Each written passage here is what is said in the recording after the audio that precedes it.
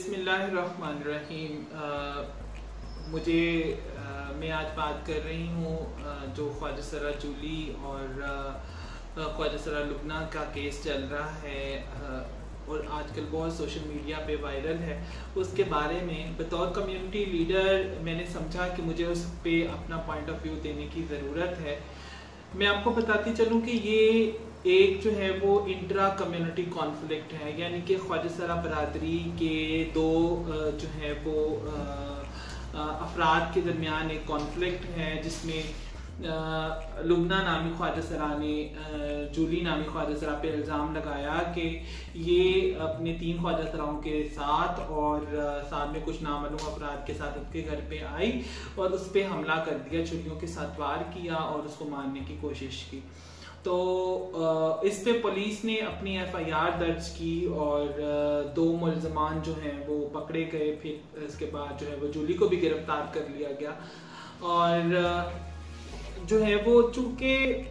یہ معاملہ اب اس پہ پولیس انویسٹیگیشن کر رہی ہے اور یہ معاملہ عدالت میں ہے کہ اور ہمیں لگتا ہے بطور کمیونٹی لیڈر کہ اس کی پولیس کو انویسٹیگیشن کی رپورٹ جلد از جلد پیش کرنی چاہیے اور عدالت کو جو ہے وہ اس پہ انصاف کرنا چاہیے۔ اب رہ گئی دوسری بات۔ اس سے اس کیس کے ساتھ بہت سے ایسے لوگ جڑ چکے ہیں جن کا اس کیس کے ساتھ یا خواجہ سراؤں کی فلاح و بہبود کے ساتھ نہ کوئی واسطہ ہے، نہ کوئی تعلق ہے۔ بلکہ وہ اس کیس سے خواجہ سرا کمیونٹی کو صرف استعمال کر کے، جو کہ اپنے آپ کو نہ صرف مشہور کرنا چاہتے ہیں اور اپنی آپ کی پبلسٹی کرنا چاہ رہے ہیں، جس کا جو ہے وہ نقصان خواجہ سرا کمیونٹی کو ہو رہا ہے۔ کیونکہ جو ہے وہ خواجہ سرا کمیونٹی کے بہت سے ایسے مسائل ہیں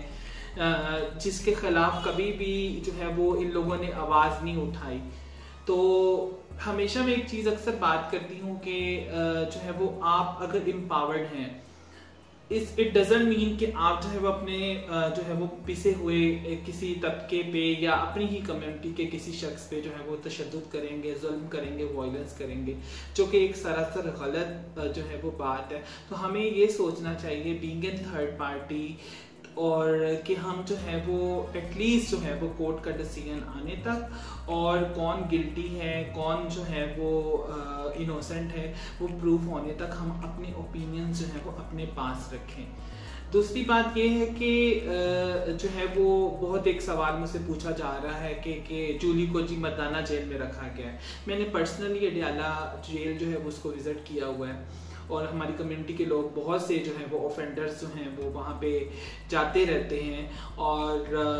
بینگ اے ٹرانس لیڈر اور being a trans activist I know کہ جو ٹرانسجنڈر رائٹس پروٹیکشن لا کے مطابق سیپریٹ جیل بنانی چاہیے۔ اسی لیے اسی طرح جو ہے وہ اس کو ڈیالہ جیل کی جو ایڈمنسٹریشن ہے وہ بہت اسٹرکٹلی فالو کرتی ہے اور خواجہ سرا کو ہمیشہ سیپریٹ بیرکس میں رکھا جاتا ہے۔ کیونکہ جو مردوں کی جیل میں لوگ جاتے ہیں، ان کے ہمیشہ بال کاٹ دیے جاتے ہیں۔ دو کے جولی کا جو ہے وہ شناختی کارڈ کے اوپر اس کی جنس جو ہے وہ مرد لکھی ہوئی ہے۔ تو لیکن اس کو بلائے طاق رکھتے ہوئے بیکاز ہر ایکسپریشن از فیمیل تو اس کو نہ مردوں اور نہ ہی عورتوں کی جیل میں، بلکہ جو ہے وہ سیپریٹ بیرکس میں رکھا گیا ہے۔ اور بطور خواجہ کمیونٹی کے لیڈر کے اور بطور خواجہ کمیونٹی کی ریپرزنٹیشن کے میں جو ہے وہ یہ سمجھتی ہوں کہ یہ انٹرا کمیونٹی کانفلکٹ جو ہے وہ اس کو یا تو